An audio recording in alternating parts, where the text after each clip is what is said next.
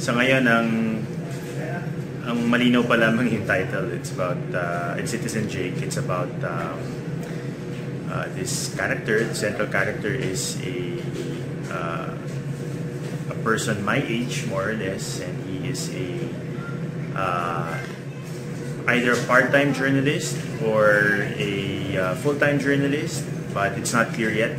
Actually, I don't, I don't know what I can reveal. Um, lalo na sa wala pa naman talagang sigurado at sinusulat pa lamang yung script. Paano ka napapayag? Well, uh, they got in touch with me. Tapos, syempre, nakakagulat kasi hindi naman ako talaga professional actor. Uh, but uh, dahil sa si Mike De Leon yun, at kilala ko siya, at kilala ko yung, alam ko yung mga uh, dati yung mga pelikula. You know, I'm also a fan.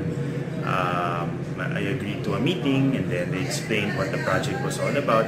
And then parang sabi ko lang, tingnan natin. And then, um, syempre, eventually, habang malalim yung, mabay, habang lumalalim yung uh, usapan, uh, doon naging mas klaro na para kay kay Mike, um, interesado talaga siya na kunin ako bilang artista or bilang actor. So, sabi ko, um, it's a risk. It's something I haven't done before. Uh, but um, I don't think it's an opportunity I can uh, I can let go of or I can reject because uh, it's a once in a lifetime thing. So, Na napa-oo ka talaga? wala pa. Wala pa. Hindi mo pa rin We're writing na- it. for- I'm helping him write it. Napasok mo ng mundo ng acting? Hindi naman siya bago sa akin. I, I've, I've done a bit of acting before. I was very young though.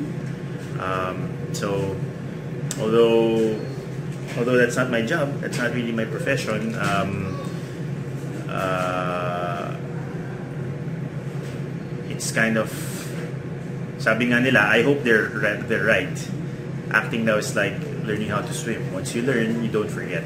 But you have to kind of practice again. So, So, hello. wala namang plano na mag full time sa pagtanggap pa ng mga projects?